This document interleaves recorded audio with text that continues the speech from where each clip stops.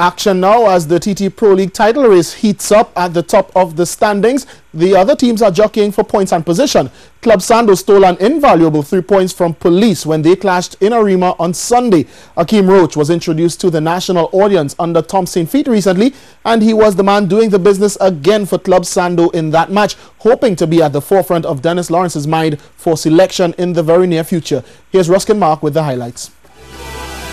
This one it up early as Jamil Perry was on spot to slam home the loose ball which Sando failed to clear and the lawman went to front after just 16 minutes. But Club Sando would respond and after some fine approach work down the left, Akeem Roach got lucky when his shot was partially blocked by Fonset in goal for police but the ball still crossed the line despite the best efforts of the defense. The lawman came close to regaining the lead, but Kareem Perry's powerful blast somehow missed everything. But the lawmen didn't have to wait long for their APB to pay off as GB McDavid's attempted cross sailed on goalkeeper Stephen Barkley and nestled in the back of the net. I hate when that happens. For 2 to 1 to the lawmen, leaving McDavid to celebrate while Barkley was left with egg on his face.